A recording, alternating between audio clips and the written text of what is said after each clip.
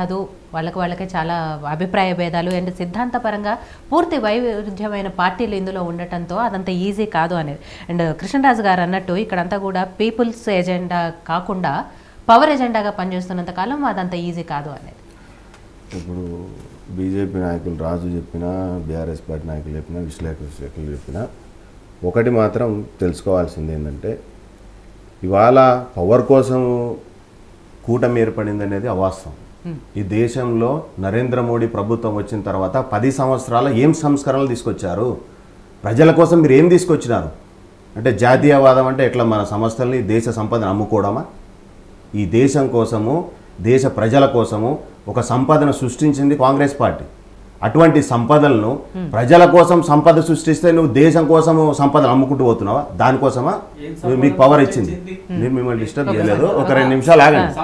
మీరు మాట్లాడేటప్పుడు.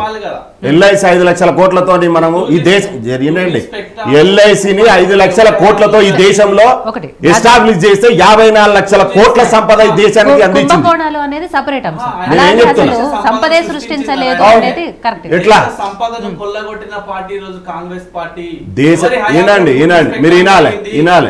మీరు. వినాలి రాజు గారు వినాలి. మీరు మీరు మాట్లాడేటప్పుడు మీరు వినాలి. బ్రో. సబ్జెక్ట్ వైజ్గా నువ్వు మాట్లాడినప్పుడు డిస్టర్బ్ చేయలేదు నీ సంపూర్ణంగా నువ్వు చెప్పుకునే అవకాశం నీకు ఇచ్చిన. నేను మాట్లాడేటప్పుడు నువ్వు నువ్వు విను. విన్న తర్వాత నీ నీ వర్షం వినిపించే అవకాశం నీకు మీరు చాలా ప్రశ్నలు అడిగారు. బీఆర్ఎస్ నాయకులు ప్రశ్నలు అడిగారు. నేను మధ్యలో డిస్టర్బ్ చేసినా అంటే మీరు మాట్లాడలేదు. డిబేట్ అయిపోయేంత వరకు మీరు మాట్లాడలేరు. నేను డిస్టర్బ్ చేస్తే. నేను చెప్తున్నా. మీరు మాట్లాడలేరు. కాబట్టి అవకాశం ఇచ్చినా మీరు మాట్లాడినారు.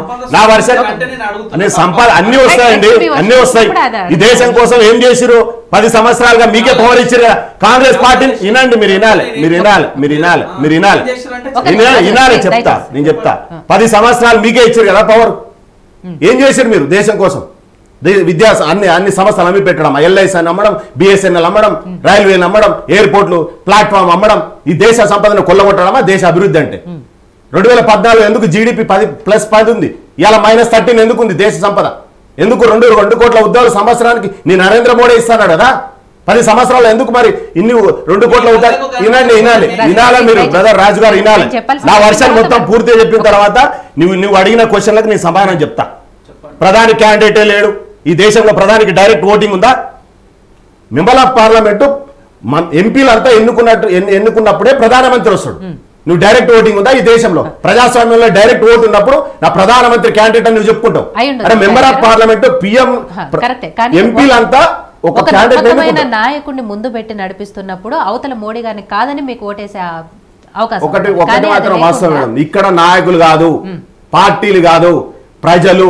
ఈ ప్రజల కోసము పది సంవత్సరాల్లో ఎన్ని సంస్కరణలు తీసుకొచ్చినారు ఎన్ని ఉద్యోగ కల్పనలు తీసుకొచ్చినారు ఎన్ని కంపెనీలు ఎస్టాబ్లిష్ చేసినారు ఎంతమందికి ఉపాధి కల్పించిండ్రు ఈ దేశం ఎటు వెళ్ళిపోతుంది? సామాన్యుడు బతకగలుగుతున్నాడా? పది సంవత్సరాలుగా. సామాన్యుడు సగటున సామాన్యుడు ఆదాయం గణనీయంగా పడిపోతే ఇవాళ నిత్యావసర వస్తువులు దొరకక ఈరోజు బతకలేని పరిస్థితుల్లో దేశ ప్రజలు ఉంటే మీరు ఇవాళ కూటమి ఏర్పడింది. ఎందుకోసం కూటమి ఏర్పడింది? దేనికోసం ఏర్పడింది? ప్రజాస్వామ్యంలో ప్రజలకు విలువ లేకుండా పార్టీలు లక్షల కోట్ల రూపాయలు ప్రజలను భారం వేసి వాళ్ళ బతుకులు భారం అవుతుంటే ప్రజాస్వామ్యాన్ని రాజ్యాంగాన్ని కాపాడాల్సినటువంటి బాధ్యత రాజకీయ పార్టీగా మాకు బాధ్యత ఉంది కాబట్టి మేము ఇన్సెంటివ్ తీసుకొని అన్ని పార్టీలని కలయికతో వాళ్ళ అలయన్స్ ఏర్పాటు చేస్తున్నాం. ఇవాళ బీఆర్ఎస్ పార్టీ నాయకులు చెప్తాడు అన్న నువ్వు బీజేపీకి అనుబంధంగా ఉన్నటువంటి పార్టీలను కలిసింది కేసీఆర్ పోయి బీఆర్ఎస్ పార్టీ కాంగ్రెస్ పార్టీకి అనుబంధంగా పనిచేస్తున్నటువంటి తమిళనాడు ప్రభుత్వాన్ని కానీ బెంగాల్ మమతా బెనర్జీ కానీ మహారాష్ట్ర ఉద్ధవ్ ఠాక్రే గారు కాంగ్రెస్ అనుబంధంగా పనిచేస్తున్నటువంటి పార్టీలను కలిసిండు తప్ప నువ్వు బీజేపీకి సంబంధించినటువంటి పార్టీలను ఎందుకు కలవలే? అంటే నువ్వు కా- బీజేపీకి బీ బీ టీమ్గా పనిచేస్తున్నావు కాబట్టి కాంగ్రెస్తో మద్దతుగా ఉన్నటువంటి పార్టీలను కలిసి నువ్వు కూటమి చేయనిక పోయినావు. నువ్వు అది బెడిసికొట్టింది కాబట్టి ఇవాళ మళ్ళీ బీఆర్ఎస్ పార్టీని కొత్త జెండా పట్టినావు. ఇలా దేశకి నేత అంటాడు ఈడ రైతులకు ఉద్ధరించింది ఏమి లేదు. మళ్ళీ దేశాన్ని ఉద్ధరిస్తాను మళ్ళీ కేసీఆర్ గారు మీటింగ్ పెట్టడానికి పోతారు ఈ ప్రజల సొమ్ము తెలంగాణ ప్రజల సొమ్ము కొల్లగొట్టి నువ్వు మహారాష్ట్ర మీటింగ్ పెట్టి అక్కడ ఉన్నటువంటి రైతులకు పైసలు పంచుతావు. ఎవడబ్బ సొమ్ము అని తెలంగాణ ప్రజల సొమ్ము దోచుకొని పోయి మహారాష్ట్రలో లేకుంటే పంజాబ్లో ఖర్చు పెట్టమని చెప్పిర్రు? నువ్వేం చేస్తున్నావు రైతుల కోసం? నువ్వు రైతుల కోసం మాకు పథకాలు కావాలంట. రైతుల కోసం పథకం అంటే ఐదు వేల రూపాయలు రైతు బంధు ఇచ్చి లక్ష రూపాయలు డ్రిప్ ఇరిగేషన్ దోచుకోవడమా? ఐదు వేల సబ్సిడీ ఇత్తనాలు తీసేయడమా? సబ్సిడీ ఎరువులు తీసేయడమా? ఇన్సూరెన్స్ రెండు లక్షల రూపాయలు తీసేయడమా?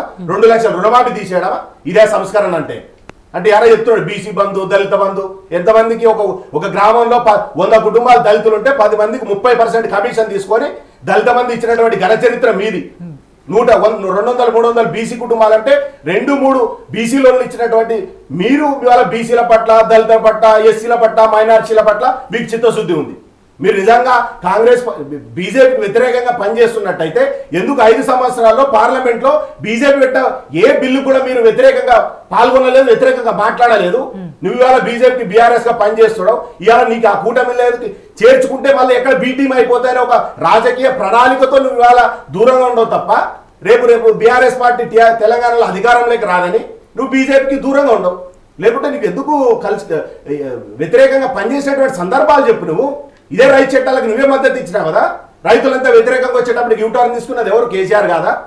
ఇవాళ నిన్నటికి నిన్న కవితమ్మ కేసు ఏం చేసారు మీకు తెలియదా? ఈ దేశం కోసం ధర్మం కోసం పాలించేటోళ్ళు రేపు అరెస్ట్ చేస్తాం ఎల్లుండి అరెస్ట్ చేస్తాం అయిపోయింది జైలుకి వెళ్ళిపోతుంది తెలంగాణలో బీజేపీ గ్రాఫ్ పెరిగిపోతుంది. ఇక్కడ గ్రాఫ్? కేటీఆర్ పోయి అమిత్ షా దగ్గర కూర్చుంటాల కల్లా? రేపు పార్లమెంట్ ఎలక్షన్ మీకు మద్దతు తెలుపుతాము. మమ్మల్ని వదిలిపెట్టండి. బీఆర్ఎస్ పార్టీని వాళ్ళ అధికారం తీసుకొచ్చి మీకు అప్పచెప్తామని చెప్పినాక కదా కవితమ్మ కేసు సరెండర్ చేసింది. మీరు వాళ్ళ బీఆర్ఎస్ పార్టీ నాకు లేదు దేశం కోసం ధర్మం కోసం వీళ్ళతో వీళ్ళతో పాటు పనిచేసుకుంటూ మీరు వాళ్ళ కాంగ్రెస్ పార్టీ ఒక ఎజెండా లేదు. ఏం ఎజెండా లేదు? ఈ దేశానికి దశ దిశ నిర్దేశం చేసిందే కాంగ్రెస్ పార్టీ. ఈ దేశంలో తీసుకొచ్చినటువంటి అన్ని సంస్కరణలు కాంగ్రెస్ పార్టీ తీసుకొచ్చింది కదా?